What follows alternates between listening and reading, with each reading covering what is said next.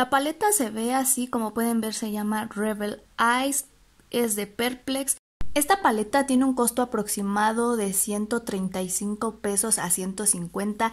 Esta paleta a mí me la proporcionaron de parte de la tienda Rose Cosméticos y Novedades, así que vamos a ver cómo es. Y trae así su cartoncito que se desliza como las otras paletas y trae la misma información. Quiero que vean aquí, si está muy pequeñita la paleta, aquí comparándola con esta de Remember Me, quiero que vean cómo se ve de tamaño es de cartón duro. Esta paleta la verdad me gusta porque se siente pequeña, no se siente estorbosa, como que va a ser práctica para traerla en la bolsa. Como pueden ver es holográfica, por eso refleja mucho.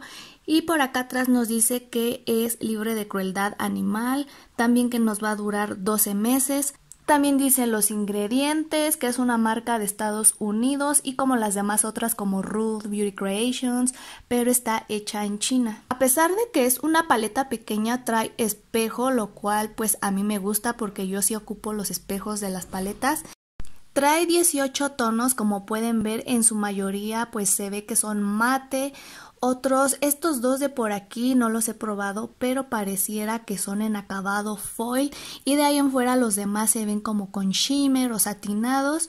Y como pueden ver es una gama muy distinta de tonos, al menos este tono de por acá de la orilla yo no lo tengo, pareciera como un verde pistache pastel, no sé cómo explicárselo, se ve súper padre. Este tono es un tono duocromático que puedes encontrar en Clean Color, en la, eh, también es uno muy famoso de Wet n Wild y en otras paletas, creo en la Seed Fantastic también este lo hay. Como puedes ver, cada tono tiene su nombre y esta es una paleta, se podría decir como inspirada porque como tal no es un dupe porque no está este, pues los tonos no son idénticos a la paleta de Anastasia que se llama Riviera.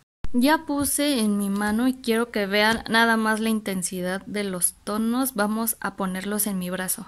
Quiero que chequen nada más el que más me llamó la atención hasta ahorita ha sido el rojo y este como moradito, quiero que vean. Estos son los de la siguiente hilera y quiero que vean nada más. Así es como se ven los de la siguiente hilera, igual se ven muy pigmentados y sobre todo los mates son los que más me han gustado. Y estos son los de la última hilera. Este de por acá, este blanquito, se ve como color perla unicornio. Y vamos a probarlos en la mano. Y así es como se ven más o menos los de la última hilera. Este blanquito unicornio, a la verdad me super encantó. Y el primero, les digo, es un verde como muy raro, un verde entre amarillo, como pistache, un color que no tengo, pero quiero que vean los tonos. Ahora sí viene lo bueno, vamos a probar. Primero voy a colocar este tono naranjita. Vamos a ver qué tal pigmenta. De primera pues sí es polvosa, no sé si puedan ver. O sea, sí suelta como mucho polvo, pero saben que yo no tengo así como que problema con eso. Vamos a ver. Vean. Wow. Y eso que sacudí la brocha, ¿eh? Chequen nada más ese color tan pigmentado. Y estoy aplicando así como que con mano delicada. Y vean qué potente está el color.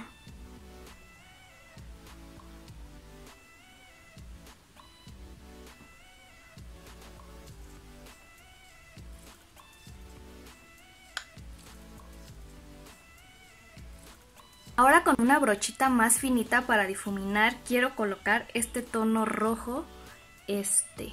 Vamos a ver qué tal se funde. De verdad, este tono me sorprendió muchísimo cuando hice los swatches, se me hizo muy pigmentado. Quiero que vean el tono. Fíjense que esta, esta también es algo polvosa, pero no importa. Vamos a ver. ¡Wow! Vean. Esta nada más la quiero concentrar aquí, esta no la quiero llevar tan arriba. Y ahorita la quiero mezclar con el tono naranjita. Vean, es que vean, nada más apliqué una capa ligerita y tengo ahí el tono. Con la misma brocha de hace rato voy a tomar tono naranja para mezclar estos dos tonos. Porque no pensé que el rojo se fuera a aplicar así tan... Pues tan brillante, tan despampanante. Quiero que vean, según yo nada más quería aplicar poquito y vean.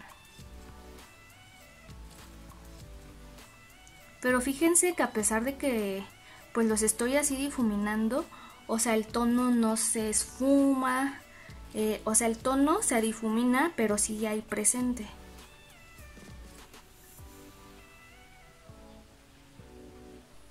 Qué bonito, qué bonitos tonos hasta ahorita. Ahora voy a utilizar, quiero usar este tono café, se ve como medio rojizo, este de acá a la orilla. No sé por qué lo acerco y se ve más claro, pero se ve un poco más oscuro. Y ese, eh, pues ya digo, nada más aplico poquito, pero ya ven, deja como mucha intensidad. Voy a aplicarlo únicamente en el, como para profundizar un poquito más este look. Esta también suelta como que mucho polvito, pero vamos a aplicarla. Por eso no suelo eh, aplicar mi base antes porque ya sé que luego las sombras son como que muy polvosas. Y vamos a ver.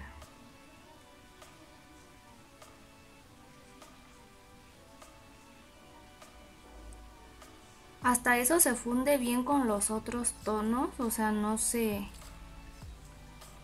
no se pierde ni nada. Ya me ayudó un poquito a aclarar el rojo, pero el rojo aún así tiene presencia, el naranja también, el café igual.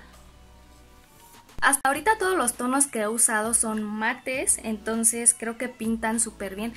Eh, quise usar casi todos ahorita mates porque luego son los que o suelen ser parchosos o no se difuminan o ya saben, pasan muchas cosas, pero hasta ahorita estos tonos me han encantado. Y ahora quiero, eh, quiero hacer como un tipo Halo Eye y voy a aplicar el tono café más oscuro que es este que viene aquí. Y ese lo voy a ocupar en las orillas. Vamos a ver. Esta también es polvosa, ¿eh? Y vean, o sea, el tono ahí está. Chequen. Muy bien. Ahorita para aplicar la sombra satinada no le voy a aplicar encima corrector ni nada, nada más así. Y chequen nada más.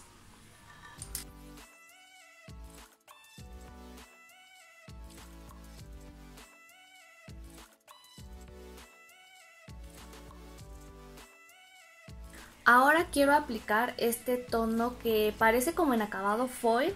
Es un tono, no es dorado, es un tono, no sé cómo decirlo, se ve medio verdoso, como amarillo. No sé muy bien cómo explicar ese tono y voy a tratar de aplicarlo con este, con esta esponjita, con este aplicador. Vean nada más qué tono tan bonito. Wow. Y eso que no apliqué nada abajo, ¿eh? O sea, está sobre sombra. Chicken. Wow. Hasta ahorita todos los tonos que ocupé con la paleta, ninguno me falló.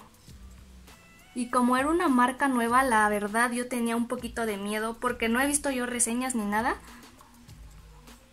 pero había escuchado que era buena, pero hasta ahorita no vi así como reseñas porque no quería ver cómo se comportaba. Y vean.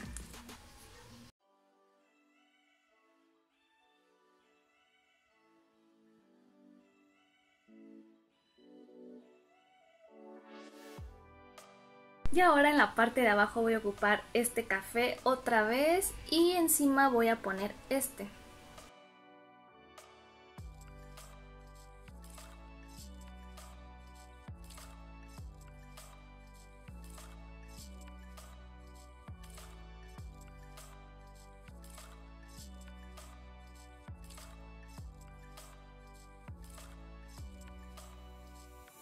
Ya me hice todo lo demás, ya casi para finalizar ahora con esta sombra, esta es como en un tono beige, la voy a aplicar un poquito debajo de aquí del arco de mi ceja.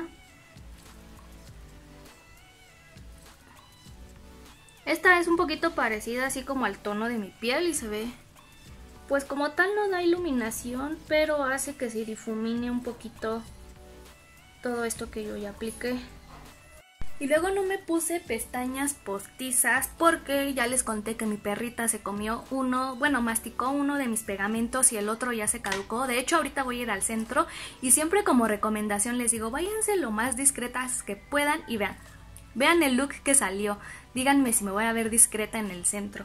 Pero bueno, eh, también otro producto que les voy a enseñar de la marca Perplex es, nada más que no lo encuentro, aquí está.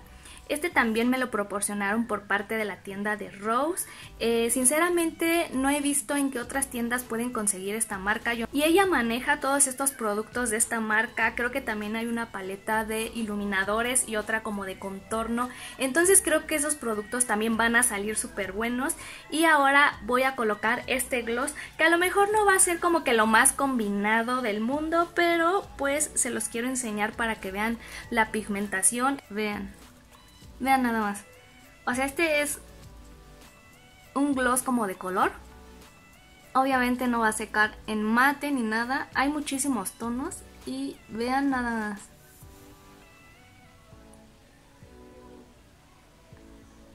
Este es metálico como pueden ver. Qué tono tan bonito. Les digo, es totalmente metálico, o sea, para hacer un gloss tiene muchísima, muchísima pigmentación. Este es en el tono Cherry Bomb 07 por si les interesa, pero también tienen tonos como más neutros si no eres tanto así como de color. Y vean, vean qué look resultó. Ya para terminar lo que les podría decir de esta paleta, la verdad que esta marca me súper sorprendió, a pesar de que es una marca nueva, sí tenía yo como que mis dudas y siento que es una marca que está a la par con Ruth, con Amoros, con Beauty Creations y esperemos que saquen más lanzamientos para seguir probándola, pero de primera impresión esta paleta me gustó muchísimo, ustedes vieron cómo se comportó, los tonos se difuminaron bien, súper pigmentados, sí es polvosa pero pues nada del otro mundo. No le quise ayudar a esta sombra brillosita y ustedes vieron que realmente pigmentó muy bien. Únicamente sí siento que te debes de apoyar. Eh, bueno, esto me pasa con todas las sombras así como en tipo foil que abajo sí debo de colocar como un tipo corrector o algo para que se fije porque ahorita si ustedes me ven todos estos brillitos como que se empiezan a caer y ya los tengo aquí en el rostro o también aquí al lado. Entonces eh, la paleta la verdad me gustó muchísimo, me encantó el tamaño, ustedes vean, por aquí tengo esta de Amoros y por acá esta de Beauty Creations que son como las más pequeñas que tengo y son las que suelo eh, traer de aquí para allá porque pues no voy a estar cargando con mi paletota de Elsa o con las paletas más grandes. Para mí me es más fácil cargar paletas así pequeñitas y ahora esta también se va a unir a este tipo de paletas así pequeñas, nada más que esta está como más delgada. Ustedes ahí pueden ver como que la diferencia de tamaño. Los tonos son tonos súper, súper diferentes.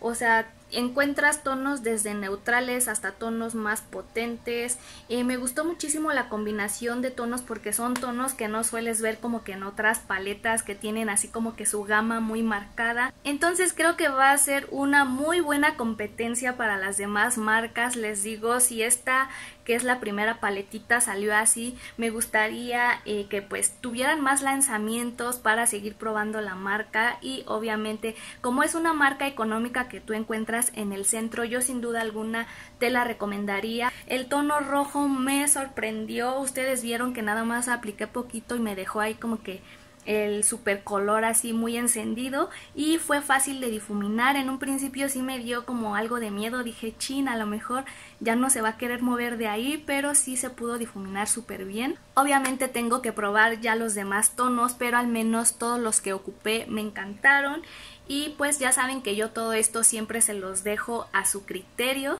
Entonces si estás buscando una paleta buena, bonita y barata y sobre todo práctica, esta creo que te va a encantar. Y pues bueno chicas, este fue el resultado del maquillaje. Ah, y el gloss pues ustedes lo vieron, vean lo pigmentado que es. Realmente yo no soy muy fan de los gloss, eso ya se los he platicado, pero con este no siento la verdad mis labios pegajosos ni nada. Es más, se siente como si fuera, eh, se han probado esas tintas de bisú que sientes que el producto ahí está pero no sientes pegajoso ni nada de eso, esto vas a sentir con este gloss, o sea, no se siente así como pesado ni nada de esto. Muchísimas gracias por haber visto el video, recuerda que te espero en mis redes sociales y nos estamos viendo hasta la próxima.